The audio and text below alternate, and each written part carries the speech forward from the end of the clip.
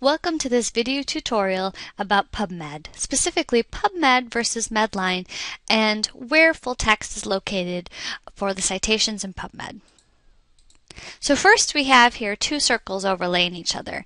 Medline is a large set of biomedical citations that makes up the large majority of the database PubMed. In addition to those Medline citations, there are other life science journals sprinkled in. Now, since that blue circle of citations is free, other vendors have taken those citations, pulled them out, put their own wrapper on them, and made uh, Medline through Ovid or Medline through EBSCOhost. We're going to focus on just the PubMed interface that's free from the US government. So once we search, and there'll be other tutorials about best practices for searching, we want to know how do we find the full text of the articles that we see in there. So one way is through PubMed Central. This is a large uh, repository also um, uh, maintained by the US government. You'll often see this show up in PubMed as free from PMC.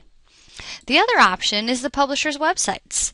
Um, there are times when a publisher will give away the full text of an article for free. Maybe it's the most current issue or back issues. So go ahead, please feel free to connect to those websites to get those full text. But be careful. Oftentimes, you'll get very close to getting it and you'll be prompted for a screen. No, please pay $33 to view this for the next 24 hours.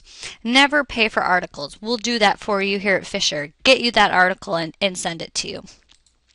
And the last way is by using PubMed at Fisher. Now, even though PubMed is uh, free from the US government, we have tweaked it just slightly so that you can have one button connection to all of the subscriptions that we have here in the library. So I recommend every time that you want to use PubMed, that you start at the library homepage, go through the database A to Z list, and then go through PubMed at Fisher in order to connect directly to those subscriptions that we have here at St. John Fisher College.